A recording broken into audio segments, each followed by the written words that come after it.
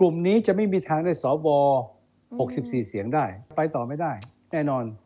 ยกเว้นว่า ยกเว้นว่า ต้องมีดีลใหม่หรือเปล่ายกเว้นว่าเออ มีมีกลุ่มใหม่กลุ่มใหม่แต่กลุ่มก้าวไกลเนี่ยไปไม่ได้แน่นอนถ้าเพื่อไทยตอนนี้ถือว่าเป็นต่ออย่างมากนะ ก้าวไกล ต้องอยู่ในสภาพที่ยอมทุกอย่างใช่ยอมเสียประธานสภา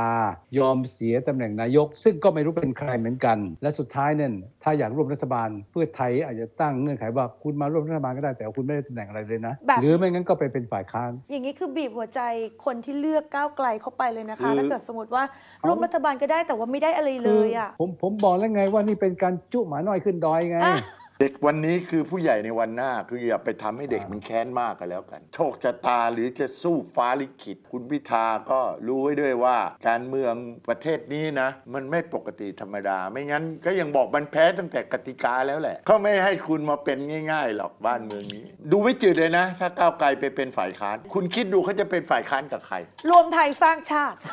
ไม่มีลุงไม่มีเราแล้วเขาจะอยู่กันยังไง ไม่ได้นะพี่โสอาจารย์ จองตำแหน่งรัฐมนตรีคลังให้คุณไหมสิริกัญญาแล้ว อันอันนี้คือด้วยความสัตย์จริงนะคะ คือในเมื่อเขาได้มา 151 เสียงอะคือคะแนนเยอะสุดอะจะถึงครึ่งไม่ถึงครึ่งไม่รู้ว่าแต่ว่าเขาต้องเป็นรัฐบาลด้วยความชอบธรรมอันนั้นอันนั้นเป็นเรื่องทั่วไปเป็นเป็นเรื่องของกติกาสากล แต่บ้านเราไม่ใช่กติกาอะไรแล้ว มันไม่มีหรอกก็เด็กมันห้าวอะอาจารย์ เพราะมันมีข่าวมีมีข่าวที่ล่ำลือกันสะพัดเลยนะค่ะล่ำลือสะพัดเลยนะ เพื่อไทยเขาไม่ต้องการให้ก้าวไกลเป็นนายกค่ะ แล้วก็อันดับแรกคือต้องการประธานสภาก่อน เมื่อได้ประธานสภาแล้วเนี่ยโอกาสที่ก้าวไกลจะเป็นนายกก็ยากแล้วเพราะหนึ่งเขาไม่สามารถจะฝ่าด่านสวไปได้ไม่มีทาง ทีนี้เพื่อไทยก็บทแล้วบทอีกก็ขออืมขอเป็นตัวทีมจัดตั้งรัฐบาล มันก็มีข่าวว่าตกลงเพื่อไทยจะใครจะเป็นนายกอะสำคัญที่ว่าใครจะเป็นนายกอุ้งอิงก็ไม่น่าจะใช่อือหือเศรษฐาก็ไม่น่าจะใช่อือหือยิ่งคุณชัยเกษมยิ่งไม่น่าจะใช่ใหญ่ใช่ใช่อันนี้ก็บอกจะมีขบวนการลากยาวไปไปมาแล้วในขณะที่กลุ่มลุงเนี่ยอืม กลุ่มลุงที่มี 188 เสียงเนี่ยเขาก็ก็มีเสียงสวอยู่ใช่ไหมค่ะ ถ้าเขาโหวตสวมาเนี่ยเขาได้สวมาแล้วเขาไปซื้องูเห่ามี62ตัวเขาไปซื้องูเห่าอีก62ตัว มันก็มีข่าวซุบซิบหนาหูกันว่า มันมีมันมีคนในในเพื่อไทยประมาณ70คนเนี่ยอาอยากจะเอ่อเคลื่อนไหวค่ะย้ายถิ่นฐานเนี่ยอ๋อเจ็ดสิบก็พอดีเลยนะ ย้ายถิ่นฐาน จริงไม่จริงเราไม่รู้ก็มีคนอ่าบอกผมมาว่ามันมีเขามีเขามีคนแอบรู้มาบอกว่าในเพื่อไทยเนี่ยนะอาจจะมีคนอยากย้ายถิ่นฐานอพยพมีกันอยากอพยพอะค่ะจะเป็นเพราะอะไรก็ไม่รู้นะ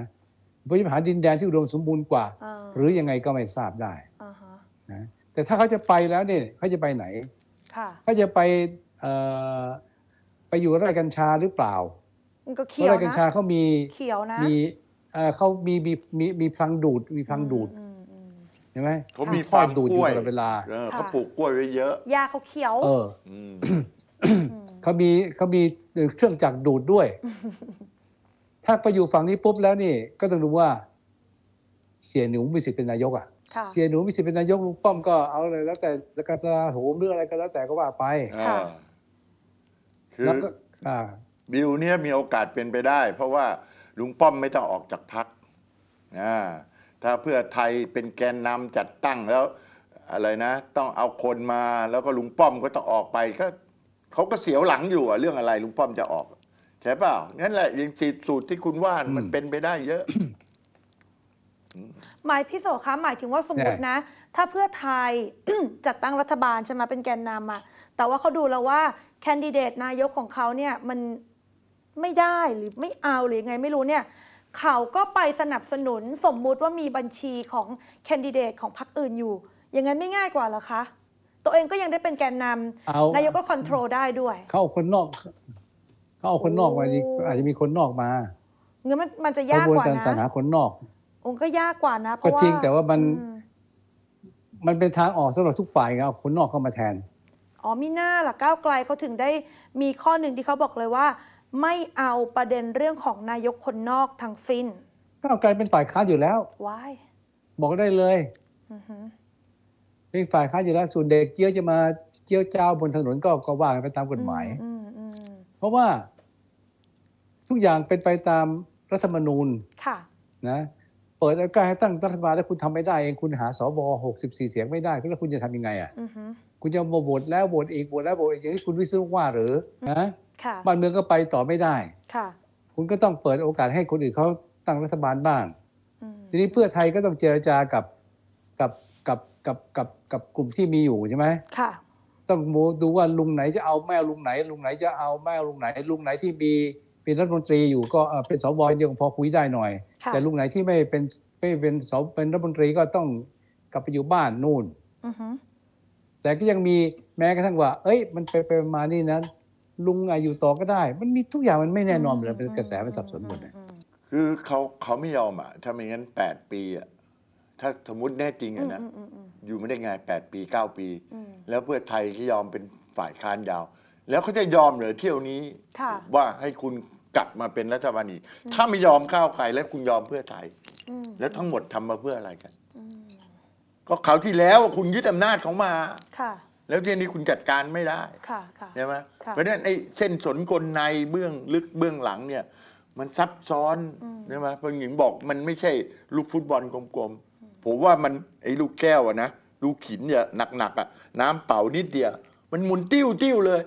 การเมืองไทยเป็นอย่างนี้ แล้วบ้านเมืองอื่นเขาก็นั่งดูอยู่เขาก็หัวเราะขบขัน ว่าตลกโปกฮาว่าเฮ้ยแล้วยังไงตอนนี้ไม่มีรัฐบาลนะว่างอยู่อะ นายกก็พูดเหมือนอม ดอกอะไรไม่รู้พิกุลจะล่วง พูดคำตับคำก่อนนั้นจัดนะจ๋าพอให้พอไม่ได้เองไม่เอาค่าหมดเลยนักข่าว อย่ามาพูด อย่ามาถามเขากลับนิสัยเดิมแบบเดิม ใช่ไหมเพราะนั้นอย่างเนี้ยประเทศจะไปยังไง นักลงทุนเขาก็รอคอยนะคนจะมาลงทุนบุญถามได้เลย อุตสาหกรรมอะไรทั้งหลายแหละเขาบอกหยุดชะงักหมดเวทแอนซีแล้วแล้วเป็นยังไงค่าเงินมันถึงร่วงเนี่ย นี่คือแบบถ้าเงเผื่อไม่ทำอะไรกันให้เร็วกกตก็ไม่รับรองอะไรทั้งทั้งหลายแหล่กว่าจะได้รับรอง อ้อยส้อย มันอะไรกันนักหนาล่ะ โลกดิจิตอลแล้วคุณจะทำไง คุณโอ้โหเลือกเสร็จแล้ว คุณต้องมานับทีละนิ้วนิ้วไม่เสร็จยกนิ้วเท้ามานับอีกเลยว่าเฮ้ยตกลงสอสอมันจะได้กี่คน คุณทำอะไรกันหนักหนาเพื่อนแล้วนี่คือการทำลายบ้านเมืองตัวเองนะ แล้วคุณทำไมไม่เปลี่ยนกติกา วิธีการอะไรให้มันเร็วขึ้นกว่านี้ทำไม่ได้หรือค่ะ ใช่ไหมค่ะ เนี่ยต้องรอตามทำลาย ต้องไปกรกฎาเปิดประชุมสภานู่นสิงหากว่าจะได้ ถ้าเกิดกรกฎาไม่ได้ก็ยืดไปอีกยืดไปอีก แล้วประเทศล่มจมใครรับผิดชอบ ใช่ เพราะฉะนั้นไอ้คนร่างกติกาอย่างนี้แหละไอ้ที่ให้มันยืดยืดกันเป็นเงี้ย มันรับผิดชอบไหมล่ะไม่มี เพราะโลกแห่งข่าวสารไม่หยุดนิ่ง คุณจะไม่ตกข่าว เมื่อคุณเชื่อมต่อเรา News One ทาง Facebook กดไลค์ กดแชร์เพจ News One ทาง YouTube กด Subscribe หรือกดกระดิ่งแจ้งเตือนทาง Channel News One เพียงเท่านี้คุณจะไม่พลาดทุกข่าวสารสำคัญ